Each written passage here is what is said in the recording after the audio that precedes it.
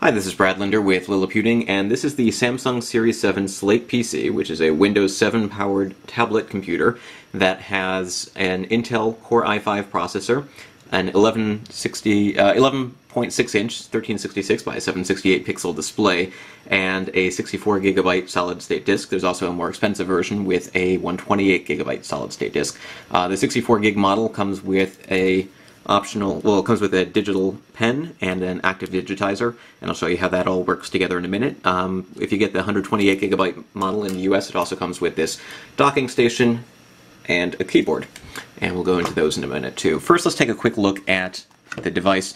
It's uh, significantly more expensive than some other tablets that we've seen lately, like say a $200 Amazon Kindle Fire 7-inch device, or a, depending on when you bought it, $500 or $100 HP touchpad. Um, this guy starts at about 1049 in the US, and uh, part of the reason for that is that you get a much faster processor, um, a larger display, and the Windows operating system and an active digitizer. It's it's really high quality stuff, and uh, you kind of need this level of hardware in order to have a really great experience with Windows 7. Windows 7 really was designed for for some touch input. A lot of people have sort of mocked it and said that it's not touch friendly, but that's not quite true. It's just that you need to have a reasonably fast processor and preferably an active digitizer and a digital pen like this. Uh, let's take a quick look at some of the hardware. There's a full-sized uh, USB port here. It's covered by a plastic door that's actually pretty hard to get off. So if you use it a lot, you might want to just take this off and leave it off. If you don't use it much, just leave it on. Um, I found that putting a paper clip in here and prying off the door was the easiest way to open it. There's a combo microphone headphone jack here, volume up and down buttons, a UHDMI port for connecting an external display or TV, but you'll need a special adapter there. A standard HDMI is not going to work. Um, metal plated, I believe that's metal, uh, but a nice sturdy power jack. We've got a docking port down here for connecting to the docking station, and there are stereo speakers along the bottom that are reasonably loud. Um, here we've got a screen orientation lock button, and that'll uh, prevent the screen from automatically shifting if you uh, uh, change your grip on the tablet. And a power button, which you can also use to put the device to sleep. We've got stereo microphone inputs and a micro SD card slot that's spring-loaded, so you just pop it in and out like that. Um, along the top, there's a uh, front-facing webcam, and along the bottom, there's a single button that brings up an Easy Launcher application, which is sort of a full-screen app for launching certain programs. On the back, we've got a higher quality camera, but still no flash or anything, and some speaker, uh, some uh, ventilation units here. Even though this has a solid state drive with no moving parts, it does generate a fair amount of heat, and so every now and again when these fans kick in, uh, it'll get a little bit noisy. Um, not too noticeable if you're working in a coffee shop, but it'll be noticeable in a quiet room. Uh, but it does keep it from overheating, um, although it will still get a little bit warm if you're holding it. Taking a quick look at some of these accessories, um, for about $13.49 you get the docking station and the keyboard. The docking station is actually it look, doesn't look like much, but it's actually a pretty neat little accessory. Uh, looks sort of like a nice little block here that folds up for travel. And you pop this open and it props up the tablet at a nice decent angle and you dock it and charge it there. And this little guy glows blue when it's uh, docked and charging. Uh, along the back we've got the power cable full-size Ethernet, full-size HDMI, and full-size USB port, and a headphone jack. So um, you can plug in the tablet, and you can keep this plugged into a TV, mouse, keyboard, etc. if you want to, or you can plug in the tablet and uh, have two USB ports, so you can plug in a keyboard and a mouse uh, at the same time, for instance, without getting any sort of extra adapters. The keyboard is pretty good to use. It's uh, it's a full-size QWERTY keyboard. It's sort of a laptop style in that you have to hit function plus the arrow keys to do page up or page down, uh, or affect the volume keys or some of the other things. But for the most part, it's a comfortable typing experience. It's an island-style keyboard, meaning that there's flat keys, they're not concave, and there's a little bit of space between each of them. It runs on two double A or triple A batteries, and the battery compartment gives it a little bit of a angle here when you place it down sort of hard to see here, but uh, it props up the back a little bit.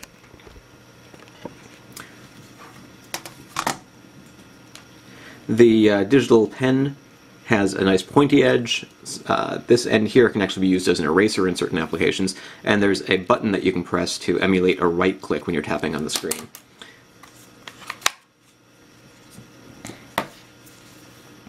Now take a look at some of the software that comes with the device.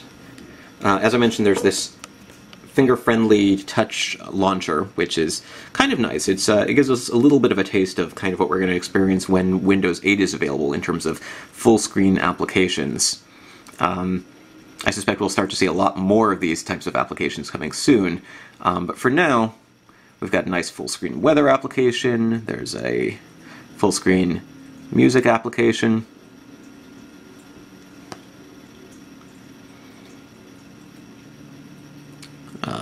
Twitter application.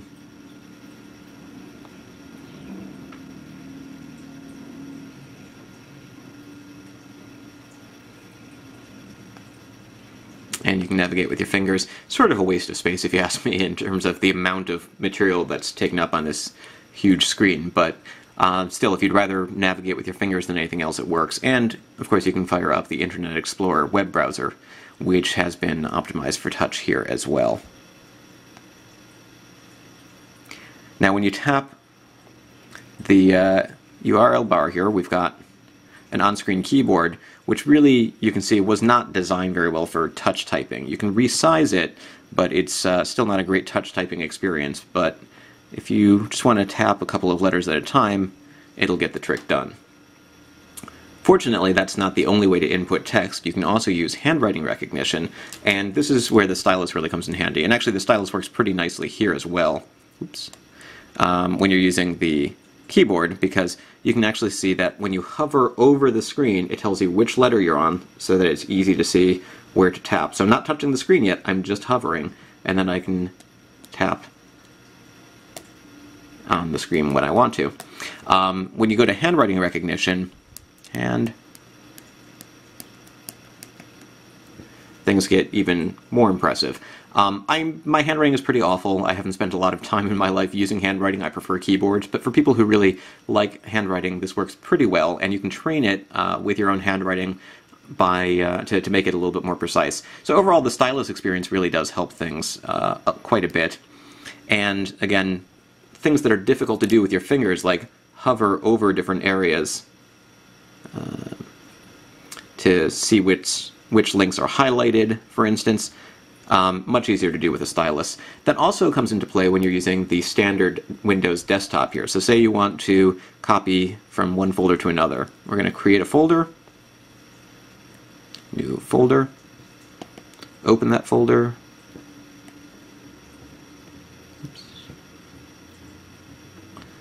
Okay, I think we need to close the touch there.